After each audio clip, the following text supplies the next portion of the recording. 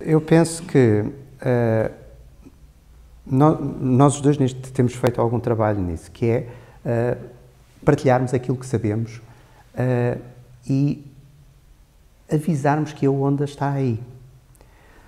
Porque eu vejo isto sempre como se fosse uma onda, daquelas, a onda gigante na, na Nazaré. O indivíduo que vai a surfar uma coisa daquelas olha para a frente e não há nenhuma onda gigante à frente. A onda está atrás. O que quer dizer, ele, ele se olhar para trás, ele vai cair.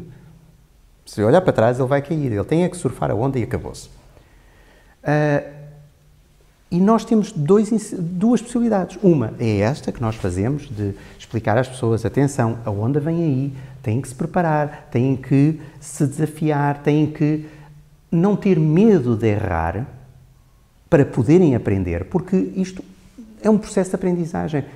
Eu sou coordenador de uma pós-graduação em marketing digital e eu digo: atenção, eu não sei tudo sobre marketing digital, nem posso saber. Eu aprendo com os meus alunos, aprendo com os meus colegas docentes.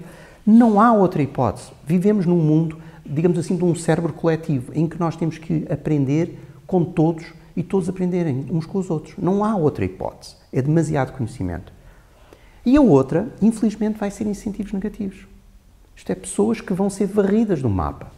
Lá está, vão vá com a onda. E vão ser varridas. Porquê?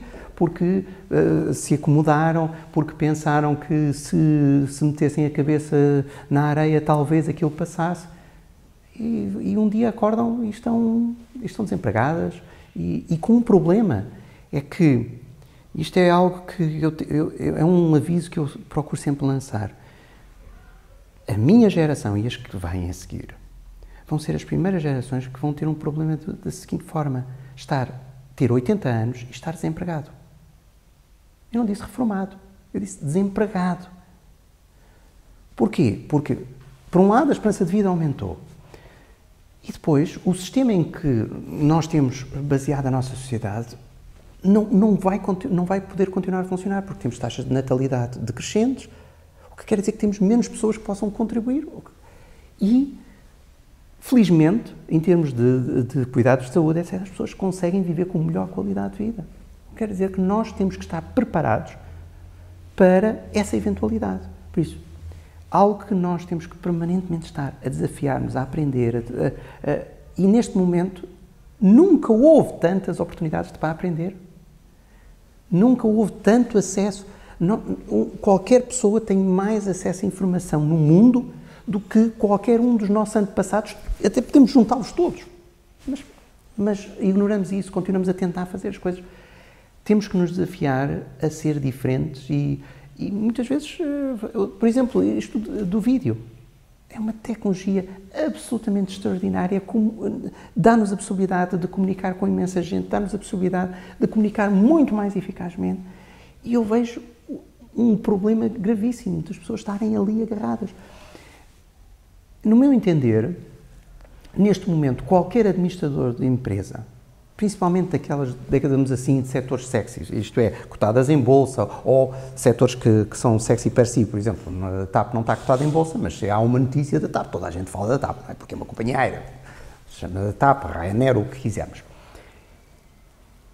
Qualquer administrador nestas áreas de, uh, deveria estar preparado para fazer um vídeo em 5 minutos e colocá-lo na rede. Porque uma gestão de crise já não se pode fazer porque eu envio uma, uma nota de imprensa.